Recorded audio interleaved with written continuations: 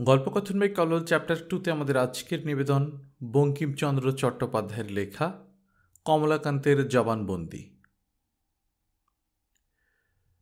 সেই আফিংখুর কমলাকান্তের অনেক দিন কোনো সংবাদ পায় নাই। অনেক সন্ধান করিয়াছিলাম। অকস্মাৎ সম্প্রতি একদিন তাহাকে ফৌজদারি আদালতে দেখিলাম। দেখি যে ব্রাহ্মণ এক গাছতলায় বসিয়া গাছের গুড়ি ঠেসান দিয়া চক্ষু বুঝিয়া ডাবায় তামাকু টানিতেছে। মনে করিলাম, আর কিছু না, ব্রাহ্মণ লোভে পড়িয়া কাহার ডিবিয়া হইতে আফিং চুরি করিয়াছে। অন্য সামগ্রী কমলাকান্ত চুরি করিবে না, ইহা নিশ্চিত জানি। নিকটে একজন কালো কর্তা কনস্টেবল দেখিলাম। আমি বড় দাঁড়াইলাম না, কি জানি, যদি কমলাকান্ত জামিন হইতে বলে। তফাতে থাকিয়া দেখিতে লাগিলাম যে কাণ্ডটা কি হয়। কিছুকাল পরে কমলাকান্তের ডাক হইল। তখন একজন কনস্টেবল রুল ঘুরাইয়া তাহাকে সঙ্গে করিয়া এজলাসে লইয়া গেল। আমি পিছু পিছু গেলাম। দাঁড়াইয়া দুই একটি কথা শুনিয়া ব্যাপারখানা বুঝিতে পারিলাম। এজলাসে প্রথামতন মাচানের উপর হাকিম বিরাজ করিতেছেন। হাকিমটি একজন দেশি ধর্মাবতার, পদে ও গৌরবে ডেপুটি। কমলাকান্ত আসামি নহে, সাক্ষী। মোকদ্দমা গরু চুরি ফরিয়াদি সেই প্রসন্ন গোয়ালিনী। কমলাকান্তকে সাক্ষীর কাটারায় পুরিয়া দিল। তখন কমলাকান্ত মৃদু মৃদু হাসিতে লাগিল। চাপরাশি ধমকাইল, হাসো কেন? কমলাকান্ত জোড়হাত করিয়া বলিল, বাবা, কার খেতে ধান খেয়েছি যে আমাকে এর ভিতর পুরিলে? চাপরাশি মহাশয় কথাটা বুঝিলেন না। দাড়ি ঘুরাইয়া বলিলেন, তামাশার জায়গায় নয় হলফ পড়ো। কমলাকান্ত বলিল, পড়াও না বাপু। একজন মুহুরি তখন হলফ পড়াইতে আরম্ভ করিল। বলিল, বলো, পরমেশ্বরকে প্রত্যক্ষ জানিয়া কি বলিব? শুনতে পাও না? পরমেশ্বরকে প্রত্যক্ষ জেনে, পরমেশ্বরকে প্রত্যক্ষ জেনে কি সর্বনাশ? হাকিম দেখিলেন, সাক্ষীটা কি একটা গণ্ডগোল বাধাইতেছে। জিজ্ঞাসা করিলেন সর্বনাশ কি? পরমেশ্বরকে প্রত্যক্ষ জেনেছি, এই কথাটা বলতে হবে। ক্ষতি কি? হলফের ফার্মাই এই। হুজুর সুবিচারক বটে, কিন্তু একটা কথা বলি কি? সাক্ষী দিতে দিতে দুই একটা ছোট রকম মিথ্যা বলি, না হয় বলিলাম। কিন্তু গোড়াতে একটা বড় মিথ্যা বলি আরম্ভ করিব, সেটা কি ভালো? এর আর মিথ্যা কথা কি? কমলাকান্ত মনে মনে বলিল, তত বুদ্ধি থাকিলে তোমার কি পদবৃদ্ধি হইত? প্রকাশ্যে বলিল, ধর্মাবতার, আমার একটু একটু বোধ হইতেছে কি যে পরমেশ্বর ঠিক প্রত্যক্ষের বিষয় নয়। আমার চোখের দোষেই হোক আর যাই হোক, কখনোই তো এই পর্যন্ত পরমেশ্বরকে প্রত্যক্ষ দেখিতে পাইলাম না। আপনারা বোধহয় আইনের চশমা নাকি দিয়া তাহাকে প্রত্যক্ষ দেখিতে পারেন। কিন্তু আমি যখন তাহাকে এই ঘরের ভিতর প্রত্যক্ষ দেখিতে পাইতেছি না, তখন কেমন করিয়া বলি, আমি পরমেশ্বরকে প্রত্যক্ষ জেনে ফরিয়াদি উকিল চটিলেন। তাহার মূল্যবান সময় যাহা মিনিটে মিনিটে টাকা প্রসব করে তাহা এই দরিদ্র সাক্ষী নষ্ট করিতেছে। উকিল তখন গরম হইয়া বলিলেন, সাক্ষী মহাশয় থিওলজিক্যাল লেকচারটা ব্রাহ্ম সমাজের জন্য রাখিলে ভালো হয় না? এখানে আইনের মতো চলিতে মনস্থির করুন। কমলাকান্ত তাহার দিকে ফিরিল, মৃদু হাসিয়া বলিল, আপনি বোধ হইতেছে উকিল। কিসে চিনলে? বড় সহজে, মোটা চেন আর ময়লা সামলা দেখিয়া। তা মহাশয়, আপনাদের জন্য থিওলজিক্যাল লেকচার নয়। আপনারা পরমেশ্বরকে প্রত্যক্ষ দেখেন, স্বীকার করি, যখন মক্কেল আসে। উকিল সরসে উঠিয়া হাকিমকে বলিলেন I ask the protection of the court against the insults of this witness court বলিল, ও বাবু the witness is your own witness are you are at liberty to send him away if you like এখন কমলাকান্তকে বিদায় করিয়া দিলে উকিলবাবুর মোকদ্দমা প্রমাণ হয় না। সুতরাং উকিলবাবু চুপ করিয়া বসিয়া পড়িলেন। কমলাকান্ত ভাবিলেন, এই হাকিমটা জাতিভ্রষ্ট, পালের মতো নয়। হাকিম গতিক দেখিয়া আদেশ করিলেন যে, ওথের প্রতি সাক্ষীর অবজেকশন আছে, উহাকে সিম্পল অ্যাফার্মেশন দাও। তখন মুহুরি কমলাকান্তকে বলিল আচ্ছা ছেড়ে দাও। বলো, আমি প্রতিজ্ঞা করিতেছি, বলো। কি প্রতিজ্ঞা করিতেছি সেটা জানিয়া প্রতিজ্ঞাটা করিলে ভালো হয় না? মুহুরি হাকিমের দিকে চাহিয়া বলিল, ধর্মাবতার, সাক্ষী বড় উকিলবাবু হাঁকিলেন ভেরি অবস্ট্রাকটিভ কমলাকান্ত উকিলের দিকে চাহিয়া কহিল, সাদা কাগজে দস্তখত করিয়া লওয়ার প্রথাটা আদালতের বাহিরে চলে জানি। ভিতরেও চলিবে কি? সাদা কাগজে কে তোমার দস্তখত লইতেছে? কি প্রতিজ্ঞা করিতে হইবে তাহা না জানিয়া প্রতিজ্ঞা করা? আর কাগজে কি লেখা হয় তাহা না দেখিয়া দস্তখত করা একই কথা। হাকিম তখন মুহুরিকে আদেশ করিলেন, প্রতিজ্ঞা আগে শোনাইয়া দাও, গোলমালে কাজ নাই। মুহুরি তখন বলিল, শোনো, তোমাকে বলিতে হইবে, আমি প্রতিজ্ঞা করিতেছি যে আমি যে সাক্ষ্য দেব, তাহা সত্য হইবে। আমি কোনো কথা গোপন করিব না। সত্য ভিন্ন আর কিচ্ছু হইবে না। হো মধু মধু। সে আবার কি? পড়ান পড়ান, আমি পড়িতেছি। কমলাকান্ত তখন আর কোনো গোলযোগ না করিয়া প্রতিজ্ঞা পাঠ করিল। তখন তাহাকে জিজ্ঞাসাবাদ করিবার জন্য উকিলবাবু গাত্রোত্থান করিলেন। কমলাকান্তকে চোখ রাঙাইয়া বলিলেন, এখন আর বদমাইশি করিও না। আমি যা জিজ্ঞাসা করি, তার যথার্থ উত্তর দাও। বাজে কথা ছাড়িয়া দাও। আপনি যা জিজ্ঞাসা করবেন তাই আমাকে বলিতে হইবে। আর কিছু বলিতে পাইব না? না। কমলাকান্ত তখন হাকিমের দিকে ফিরিয়া বলিলেন, অথচ আমাকে প্রতিজ্ঞা করাইলেন যে কোনো কথা গোপন করিব না। ধর্মাবতার পেয়াদবি মাপ হয়। পাড়ায় আজ একটা যাত্রা হইবে। শুনিতে যাইব ইচ্ছা ছিল, সেই স্বাদ এইখানেই মিটিল। উকিলবাবু অধিকারী, আমি যাত্রার ছেলে। যা বলাইবেন কেবল তাই বলিব। যা না বলাইবেন তা বলিব না। যা না বলাইবেন তা কাজেই গোপন থাকিবে। প্রতিজ্ঞাভঙ্গের অপরাধ লইবেন না। হাকিম বলিলেন, যাহা আবশ্যক বিবেচনা করিবে, তাহা না জিজ্ঞাসা হইলেও বলিতে পারো। কমলাকান্ত তখন সেলাম করিয়া বলিল, বহুত খুব। উকিল তখন জিজ্ঞাসাবাদ আরম্ভ করিলেন, তোমার নাম কি? শ্রী কমলাকান্ত চক্রবর্তী।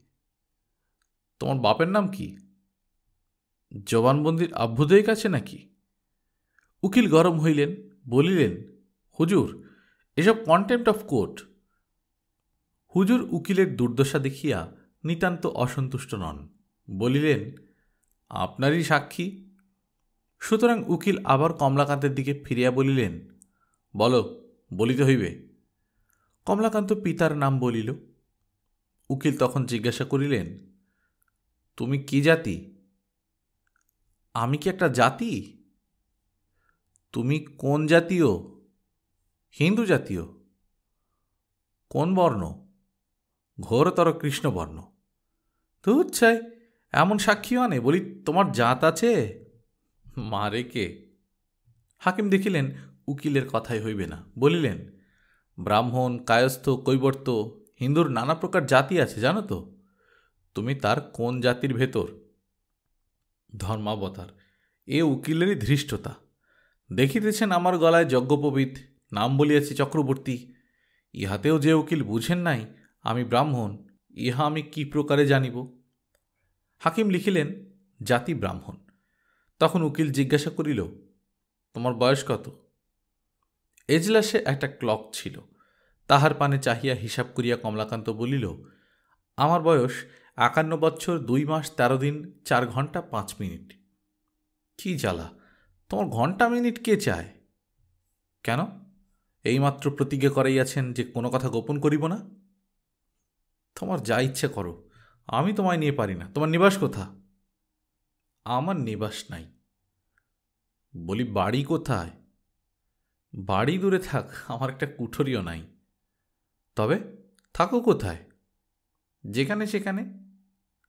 একটা আড্ডা তো আছে। ছিল, যখন নসিবাবু ছিলেন। এখন আর নাই। এখন আছো কোথায়? কেন? এই আদালতে? কাল ছিলে কোথায়? একখানা দোকানে। হাকিম বলিলেন, আর বকাবকিতে কাজ নাই। আমি লিখিয়া লইতেছি, নিবাস নাই। তারপর? তোমার পেশা কি? আমার আবার পেশা কি? আমি কি উকিল না বেশ্যা যে আমার পেশা আছে? বলি, খাও কি করিয়া? ভাতের সঙ্গে ডাল মাখিয়া দক্ষিণ হস্তে গ্রাস তুলিয়া মুখে পুরিয়া গলাধকরণ করি। সে ডাল ভাত জোটে কোত্থেকে? ভগবান জোটালেই জটে, নইলে জোটে না। কিছু উপার্জন করো? এক পয়সাও না। তবে কি চুরি করো? তাহা হইলে ইতিপূর্বে আপনার শরণাগত হইতে হইত। আপনি কিছু ভাগও পাইতেন। উকিল তখন হাল ছাড়িয়া দিয়া আদালতকে বলিলেন, আমি এ সাক্ষী চাই না। আমি ইহার জবানবন্দি করাইতে পারিব না। প্রসন্ন বাদিনী উকিলের কোমর ধরিল, বলিল, এ সাক্ষী ছাড়া হইবে না। এ বামুন সত্য কথা বলিবে তা আমি জানি। ও কখনো মিছে কথা বলে না। উহাকে তোমরা জিজ্ঞাসা করিতে জানো না তাইও অমন করিতেছে। এ বামুনের আবার পেশা কি? এই ওর বাড়ি, এর বাড়ি খেয়ে বেড়ায়। ওকে জিজ্ঞাসা করিতেছে, উপার্জন করো। ও কি বলবে? উকিল তখন হাকিমকে বলিল, লিখুন পেশা ভিক্ষা। এবার কমলাকান্ত রাগিল, কি? কমলাকান্ত চক্রবর্তী ভিক্ষোপজীবী? আমি মুক্ত কণ্ঠে হলফের উপর বলিতেছি, আমি কখনো কাহারো কাছে এক পয়সা ভিক্ষা চাই না। প্রসন্ন আর থাকিতে পারিল না, সে বলিল, সে কি ঠাকুর? কখনো আফিং চেয়ে খাও নাই? কমলা কহিল, দৌড় মাগি ধেমুগালার মেয়ে, আফিং কি পয়সা? আমি কখনো একটি পয়সা কাহার কাছে ভিক্ষা লই নাই। হাকিম হাসিয়া কহিলেন, কি লিখিব কমলাকান্ত? কমলাকান্ত নরম হইয়া বলিল, লিখুন, পেশা ব্রাহ্মণ ভোজনের নিমন্ত্রণ গ্রহণ। সকলে হাসিল, হাকিম তাই লিখিয়া লইলেন। তখন উকিল মহাশয় মোকদ্দমায় প্রবৃত্ত হইলেন, জিজ্ঞাসা করিলেন, তুমি কি ফরিয়াদিকে চেনো? না। প্রসন্ন হাসিল সে কি ঠাকুর? চিরটাকাল আমার দুধ দই খেলে আজ বলো চিনি না? কমলাকান্ত বলিল, তোমার দুধ দই চিনি না এমন কথা তো বলতেছি না। তোমার দুধ দই বিলক্ষণ চিনি। যখনই দেখি এক প দুধে তিন প জল, তখনই চিনিতে পারি যে প্রসন্ন গোয়ালিনীর দুধ।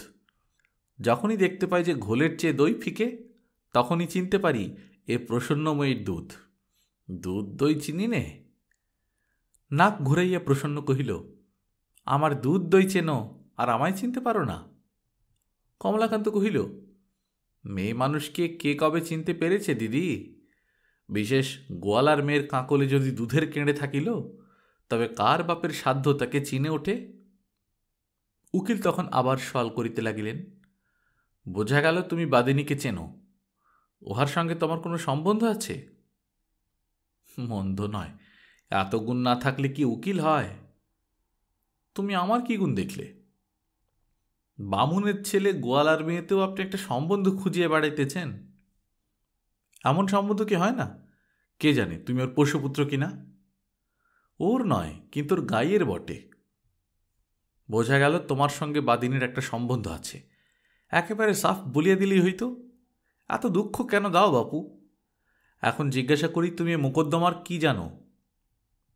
জানি যে মোকদ্দমায় আপনি উকিল, প্রসন্ন ফরিয়া দিয়ে আমি সাক্ষী, আর এই নেড়ে আসামি। আহা, তা নয়। গরু চুরির কি জানো? গরু চুরি তো আমার বাপদাদাও জানে না। বিদ্যেটা আমায় শেখাবেন? আমার দুধ দধির বড় দরকার। আহ, বলি গরু চুরি দেখিয়াছ? একদিন দেখিয়াছিলাম। নৌসিবাবুর একটা বকনা, একবারটা মুচি। কি যন্ত্রণা। বলি, প্রসন্ন গোয়ালিনীর গরু যখন চুরি যায়, তখন তুমি দেখিয়াছ? না, চোর বেটার এত বুদ্ধি হয় নাই যে আমাকে ডাকিয়া সাক্ষী রাখিয়া গরুটা চুরি করে। তাহা হইলে আপনারও কাজে সুবিধা হইত, আমারও কাজে সুবিধা হইত। প্রসন্ন দেখিল, উকিলকে টাকা দেওয়া সার্থক হয় নাই। তখন আপনার হাতের হাল লইবার ইচ্ছায় উকিলের কানে কানে বলিয়া দিল, ও বামুন সব কিছুর সাক্ষী নয়। ও কেবল গরু চেনে। উকিল মহাশয় তখন কুল পাইলেন, গর্জিয়া উঠিয়া জিজ্ঞাসা করিলেন, তুমি গরু চেনো? কমলাকান্ত মধুর হাসিয়া বলিল, আহা চিনি বই কি? নইলে কি আর আপনার সাথে এত মিষ্টালাপ করি? হাকিম দেখিলেন, সাক্ষী বড় বাড়াবাড়ি করিতেছে। ওসব রাখো। প্রসন্ন গোয়ালিনীর শ্যামলা গাই আদালতের সম্মুখের মাঠে বাধা ছিল। দেখা যাইতেছিল, ডেপুটিবাবু সেই দিকে চাহিয়া জিজ্ঞাসা করিলেন তুমি এই গরুটিকে চেনো? কমলাকান্ত জোড় হাত করিয়া বলিল, কোন গরুটি ধর্মাবতার? কোন গরুটি কি? একটি বই তো সামনে নাই? আপনি দেখিতেছেন একটি, আমি দেখিতেছি অনেকগুলি। হাকিম বিরক্ত হইয়া বলিলেন, দেখিতে পাইতেছ না? ওই সামলা কমলাকান্ত সামলা গায়ের দিকে না চাহিয়া উকিলের সামলার প্রতি চাহিল, বলিল, এ সামলাও চুরির নাকি? কমলাকান্তের নষ্টামি হাকিম আর সহ্য করিতে পারিলেন না। বলিলেন, তুমি আদালতের কাজের বড় বিঘ্ন করিতেছ। কন্টেম্প অফ কোর্ট তোমার পাঁচ টাকা জরিমানা। কমলাকান্ত আভূমি প্রণত সেলাম করিয়া জোড়হাত করিয়া বলিল, বহুত খুব হুজুর, জরিমানা আদায়ের ভার কার প্রতি? কেন? কিরূপে আদায় করিবেন সে বিষয়ে তাহাকে কিছু পরামর্শ দিব। পরামর্শের প্রয়োজন কি? ইহলোকে তো আমার নিকট জরিমানা আদায়ের কোনো সম্ভাবনা নাই। তিনি পরলোকে যাইতে প্রস্তুত কিনা জিজ্ঞাসা করিব। জরিমানা না দিতে পারো তো কয়েদ যাইবে। কতদিনের জন্যে ধর্মাবতার? জরিমানা অনাদায় এক মাস কয়েদ দুই মাস হয় না? বেশি মেয়াদের ইচ্ছা করো কেন? সময়টা কিছু মন্দ পড়িয়াছে।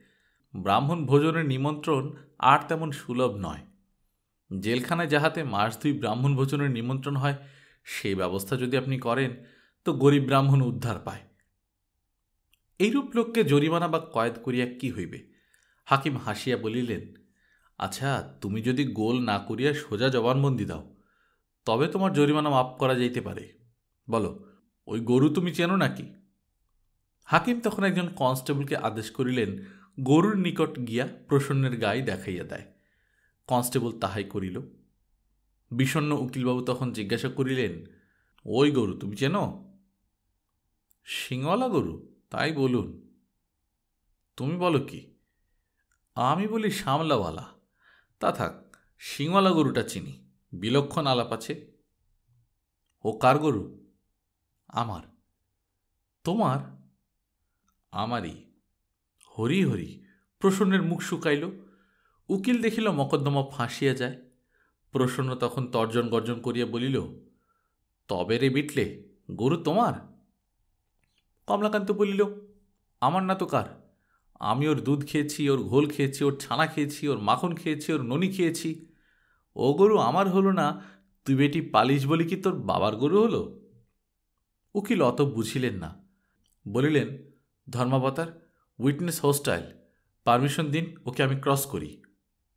কি? আমায় ক্রস করিবে? হাঁ, করিব। নৌকায় না সাঁকু বেঁধে? সে আবার কি?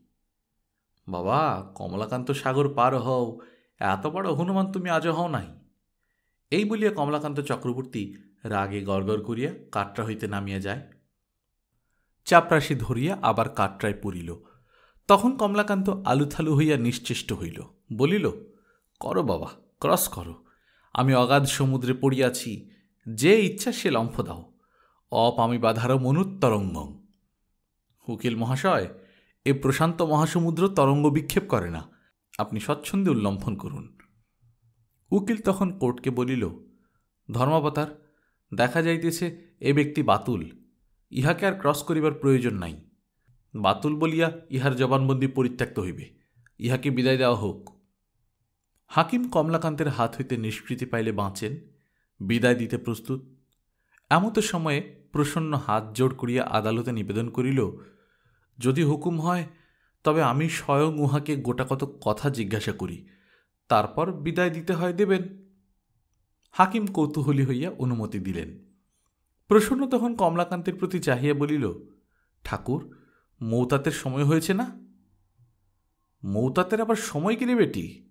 অজরামরবৎ প্রাজ্ঞ বিদ্যাং নিশাঞ্চ চিন্তয়েত। অংবং এখন রাখো, এখন মৌতাত করিবে? দে। আচ্ছা আগে আমার কথার উত্তর দাও, তারপর সে হবে। তবে জলদি জলদি বল, জলদি জলদি জবাব দি। বলো, গরু কার? গরু তিনজনের।